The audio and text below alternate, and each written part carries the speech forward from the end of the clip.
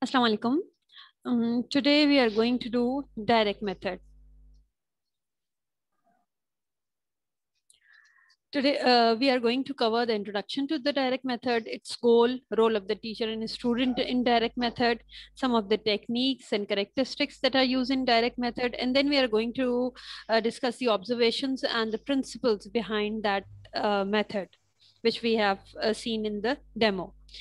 And uh, objective is that by the end of the lecture, you will be able to understand and use direct method practically. Now, first of all, what is the direct method? Basically, direct method was introduced in 1916 and brought great changes. In this method, mother tongue was totally avoided. No translation is allowed. The goal of the instructions become learning how to use a foreign language to communicate okay?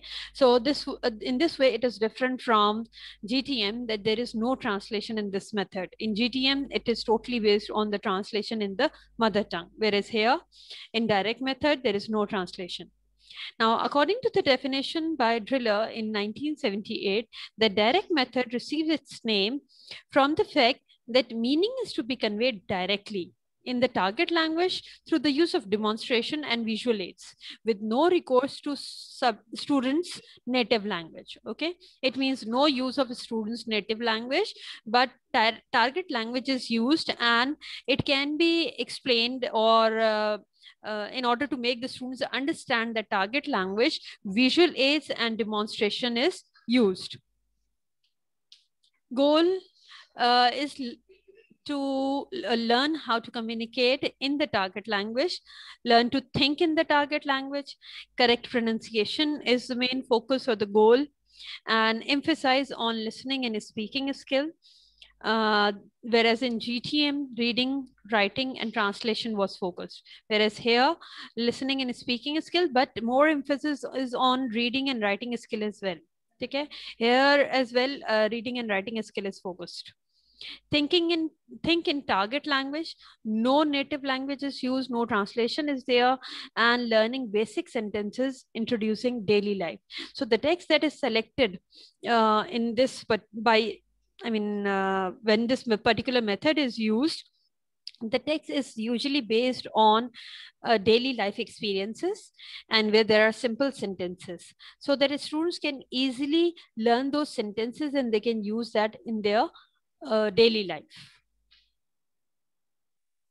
Now, role of the teacher and the student. Basically, this is a teacher-centered class and a student role is less specific than in GTM. Now, as if we consider or if we compare GTM and direct method, then as compared to that, students are little active, less specific take a little more active as compared to GTM. Whereas in GTM, there was totally silence, pin drop silence in the class here the things have started bit uh, a bit changes here. Teacher and students are partners. Teacher is the only demonstrator. He she never translate but demonstrate the meaning through the use of realia pictures or pantomimes realia means the real objects okay? Real objects or pictures or actual objects are used in this method techniques include reading aloud, as you have seen in the demo, that uh, uh, teacher read aloud the text so that students can listen to it and then um, students are asked to repeat after her so that they can, uh, I mean, correctly pronounce those words and sentences. Question and answer exercises are used, getting students to self-correct. Okay, so basically, if there is any mistake in the pronunciation, teacher repeat the word in the correct pronunciation and then students repeat the same one.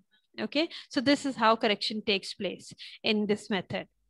Conversation practice is also done in this case, means the text that uh, I've told you that uh, simple text that can be related to the daily life is used. So daily life conversations can also be included in this method.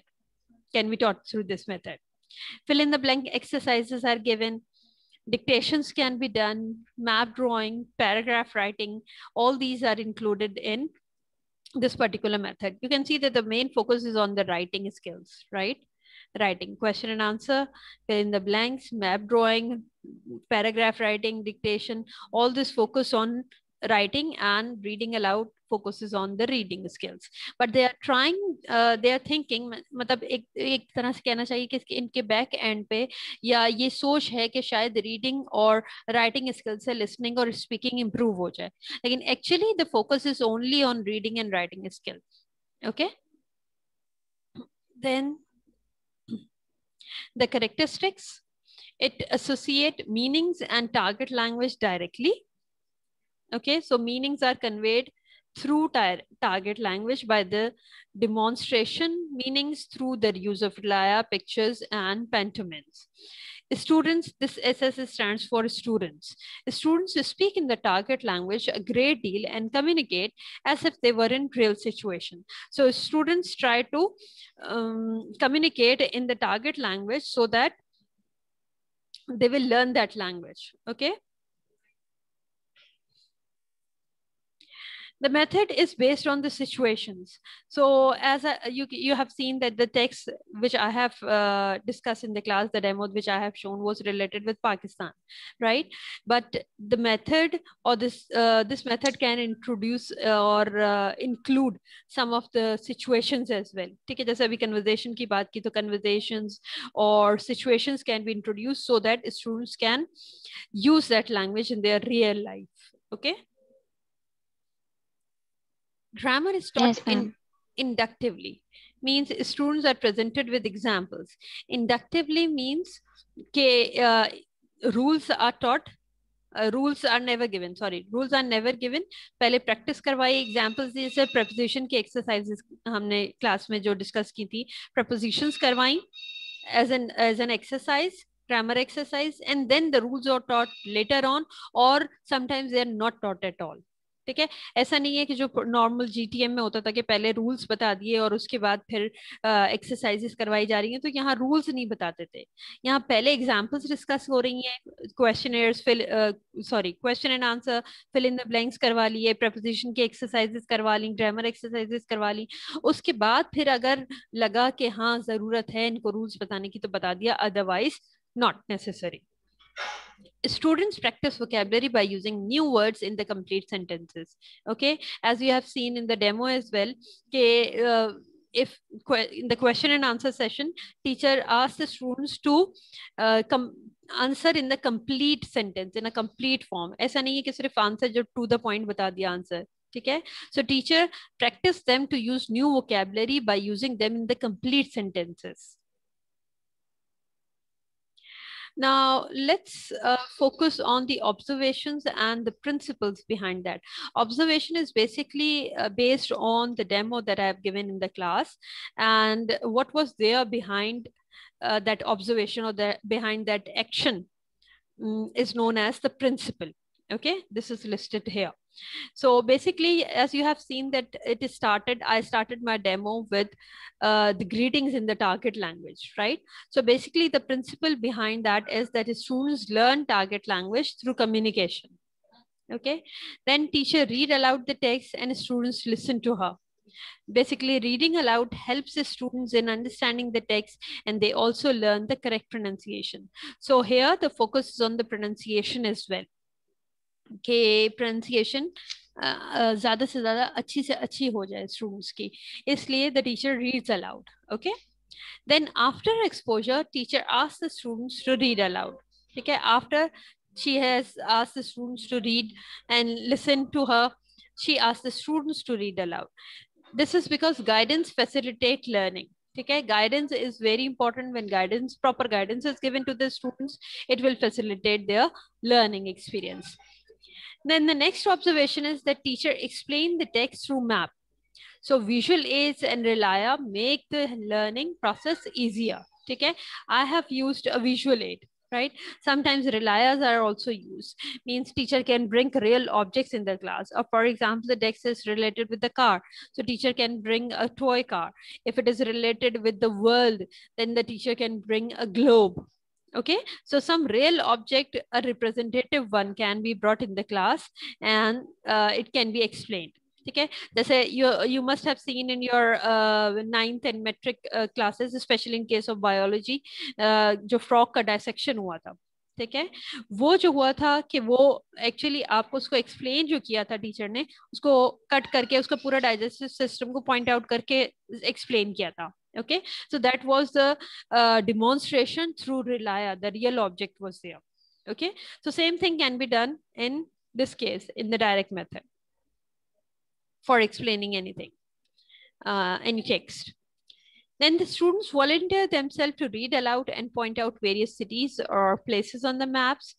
Comprehension is checked, pronunciation is corrected, and students are given confidence to speak. ठीक है वो जो एक strict scenario था strict environment था GTM का that is a bit relax okay and students are given confidence to speak in the class okay the students were asked oral questions speaking skill is more focused than writing skill vocabulary is acquired more naturally if students use it in full sentences rather than memorizing word list okay there in case of gtm only vocabulary items were introduced word meaning ho rahe the karwa rahe the theek hai yahan word meaning focus nahi ho rahe but word इस तरह से हो रहा है कि sentences में use हो रहा है सो speaking is also improved and no doubt writing is also focus लेकिन ये कह सकते हैं कि शायद स्पीकिंग क्योंकि रीडिंग अलाउड हो रहा है इस तरह से कह सकते हैं कि स्पीकिंग स्किल इज फोकस्ड ठीक है otherwise basically writing skill is focused okay so vocabulary it means vocabulary is less focused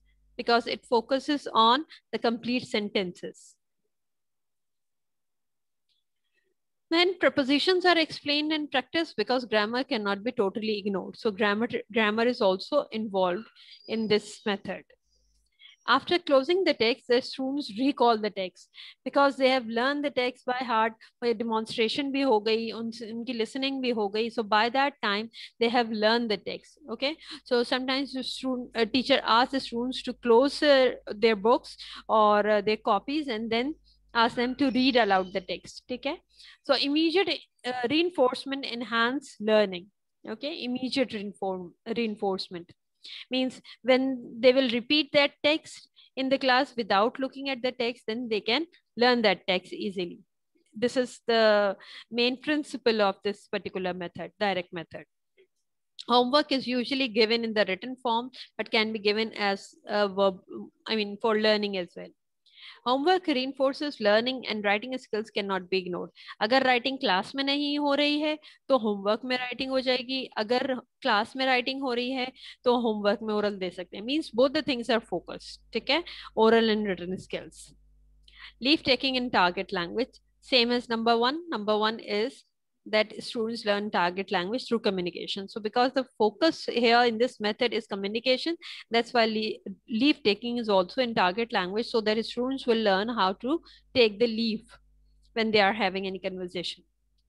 Non-literary texts are used. Non-literary text means literature se related. Culture and language learnings are two different areas. In a language classroom, literary texts should not be used. Okay. So according to this method, the principle of this method is that uh, normal daily life uh, or cultural based texts should be used in this method in order to uh, teach the students how to use the language or something related with their daily life अगर literary text होंगे तो obviously they won't be able to learn anything with their related with their real life और daily life so that's why non literary text were use in this case as you have seen that the text that I have use for my demo was related with Pakistan cities so Pakistan आपका कहीं ना कहीं you are living है I mean you are living है और कहीं ना कहीं आपका डिस्कशन uh, या कुछ ना कुछ आपकी डेली लाइफ में आप उसको डिस्कस करते हैं।